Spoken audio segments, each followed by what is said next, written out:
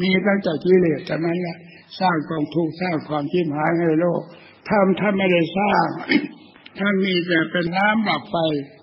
น้ำดับไฟคือดับไฟที่มันรุ่มร้อนไปด้วยอำนาจของกิเลสตัณหาให้ชุ่มเย็น ให้ดับให้มุดให้มอดลงใจใจมีความสว่างสวัยเย็นขึ้นมาเย็นขึ้นมาเพราะการภาวนา วันหนึ่งเรานั่งภาวนาไม่ต่ำกว่าห้านาทีจะนั่ง พุทธแล้วจะบริกรรมพุทโธก็ได้ มีสติกำกับอย่าให้คิดไปกับอะไร ให้คิดอยู่กับพุทโธพุทโธครับแล้วทำโนก็ได้สังโฆก็ได้ หรือคำบริการมคำใดก็ได้ ให้มีสติกำกับรักษาอย่าให้คิดอย่างอื่น ให้คิดแต่ทำบทที่ตนนำมาบริกรรมนี้เท่านั้น เช่นพุทโธ